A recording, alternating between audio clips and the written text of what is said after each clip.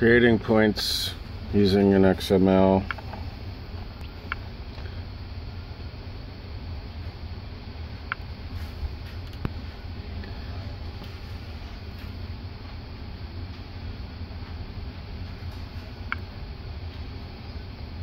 First we'll import our XML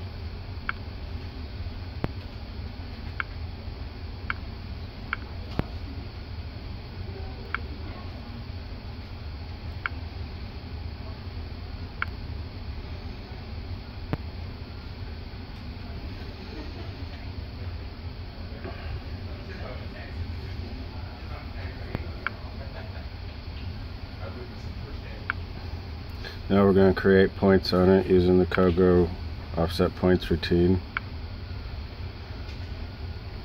Tap our line.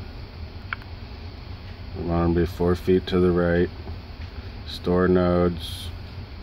Store points. If you if you want the stations on them, you toggle this on.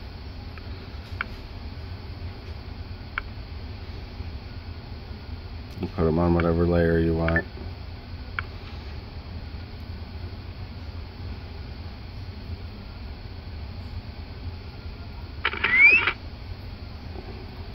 So all of our points have been created.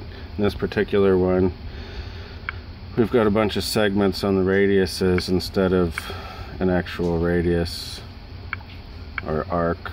So you just stake the first one and the last one. If you need a midpoint, stake one in the middle somewhere.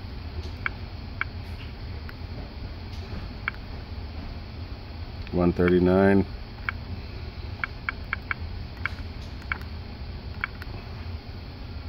Looks like 214.